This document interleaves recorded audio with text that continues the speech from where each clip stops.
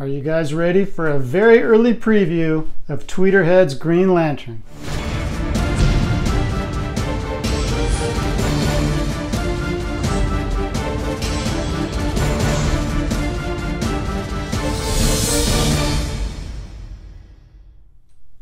Hey guys, welcome back to the Sanctuary.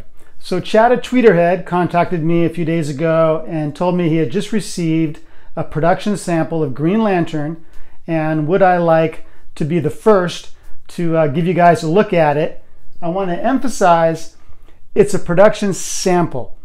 It is not necessarily what you're going to get when you receive yours. Production samples are sent to the statue maker, the company, to take a look, to iron out any problems with it so they can contact the factory and say, hey, you got to fix this, you got to fix that. This statue isn't uh, due to ship for months, so there's still time to fix and tweak any little problems. There are a few I'm going to point out. Overall, it's a really nice piece, but there's a few things that need to be looked at. But please, don't freak out. it's a production sample. It is not the piece necessarily that's going to be shipped out to you. So let's take a close look.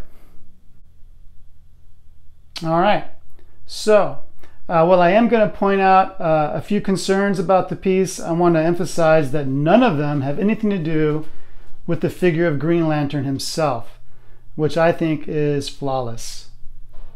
It's an excellent representation of Hal Jordan. The portrait is really nice. The portrait came attached to the body. I assume it will be the same uh, when you receive yours. But again, as it's a sample, I don't know that for sure. But I think that the expression is really nice. I think it totally nails Hal Jordan. There's a sense of determination there. Just really, really nice. The pose is good. The musculature, really nice. The hues of green and black. It's more like a like a charcoal gray black maybe. Are really spot on, I think. The ring looks good. Now, one thing I will point out, uh, which surprised me, is if you look at the Tweeterhead site, uh, the regular or collector's edition, whatever you want to call it, configuration includes this arm and this arm without the lantern. The arm without the lantern is not included in the box. And there is no spot for it in the insert. Now, if you look at the Sideshow website at, the, at this uh, particular piece, it doesn't include that piece, that uh, arm without the lantern. It shows the regular configuration as you see it here. So if you're expecting four arms uh, you might only be getting three. I don't know if that's a big deal. I think most people want the arm with the lantern, but it does not appear that an, a left arm without the lantern is included. Take a look at the base. One thing that you always have to decide on a Green Lantern base is do you make the construct translucent as Tweeterhead has done here? Or do you make it opaque, which is what Sideshow did with their most recent John Stewart premium format Green Lantern, where you have that kind of, uh, it's kind of like a milky green construct rather than a translucent green. I like the translucent because it contrasts well with the figure. It tells me this is a construct. Whereas if they had made it opaque, um, it looks too much like the figure. It has that, you know, you can't see through it obviously. So it sets it apart from the figure by making it translucent. And I like the idea of the entire base being the construct. And as you can see, it's a double-barreled cannon. And I've heard many collectors say, hey, what's the story behind this? They want to know the story where Green Lantern creates this double-barreled cannon, which is a good sign. It it uh, has made people uh, spark their imaginations for how this scene came to be. Let me spin it around.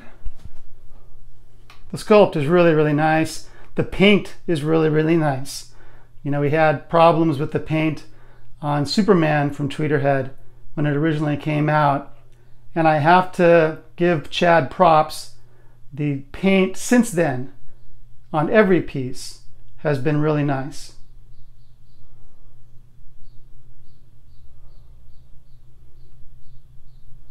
Super, super cool. This is number 15 in the Superpowers line.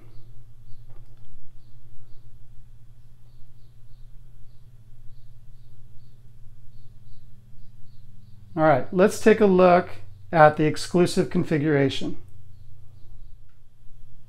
All right, so I've switched out the right arm, which now where the fist used to be, there's this uh, hole for the peg to go into. And then if you go to the back of the statue, that's where the other end of the ammo belt goes. Now I want you to see that, that end of the ammo belt. It has a peg there, but as you can see, this it's not a big deal because it's in the back on the bottom. You can see the peg through the, the uh, what I assume is PVC for the ammo belt. Anyway, so that goes in like so. Make sure it's all the way in. And this is the biggest concern that I have with this production sample. All right, take a look at that end. There's a possibility a small piece broke off from that end. And the reason I bring that up is because it doesn't really fit. I mean, it goes in, but it doesn't hold. It pops right out. So it may be that this piece, this end here, is supposed to have a little more length to it that would better fasten or better peg in to that right hand. That, that's a significant problem that needs to be remedied. I don't think it's user error. It's all the way in down there. This is the direction that it goes in the photos on both the Tweeterhead and Sideshow sites. So that's a problem. Now, um, Chad had sent me a photo of the sample, I assume it's this sample, with this inserted, like it's fine. So I don't know if something broke off in transit or what happened. Um, there is not a metal peg on this end as there was on the bottom, like I showed you. I think it's just the PVC is supposed to insert into that hand, but it just pops right out. And to be honest, um, I have to put a little stress on it to even get it in position. It wants to be over here. So that's, that's a concern too. Again, this is a sample. This is the time when problems like this get fixed. I assume this is not going to be a problem when you receive yours. Here he is displayed with Superman and Batman from the Superpowers line. And it occurs to me that while some companies have problems with scale, Tweeterhead doesn't. They seem to nail this 1 6 scale every time. There doesn't seem to be any difference between the head size on these three figures. It's really nice. Now, Tweeterhead's also done Wonder Woman and Martian Manhunter. Uh, so we're waiting on Flash and Aquaman to complete the Justice League of America set. Those have not been even teased yet, so we don't know when those are coming from Tweeterhead. But Chad, you got to do Aquaman and Flash. to complete that set. And maybe throw in the atom. I really want the atom, even if he's half an inch tall.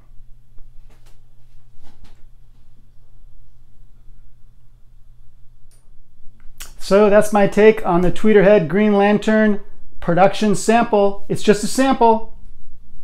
I'm sure the kinks are going to get worked out and you'll have a really nice new entry in the Superpowers line coming to you. Well, it's still actually several months out. Uh, there are other pieces coming before this, I believe. Robin, Starfire, and maybe Batgirl. I can't remember if Batgirl is before Green Lantern or after. But it appears that in 2020 and 2021, there's going to be some nice pieces coming from Tweeterhead, and I'm looking forward to it. It's going to be really cool. Uh, otherwise, please subscribe if you haven't already. Please take a look at my website, detective27.com. I've got comics for sale there, both raw and certified by CGC. I also have some statues there for sale. Otherwise, I will see you on Facebook, and I'll see you on the uh, on the message board, Statue Forum. And uh, please enjoy your time, your quarantine time with your family, and stay healthy. And I'll see you real soon. Take care.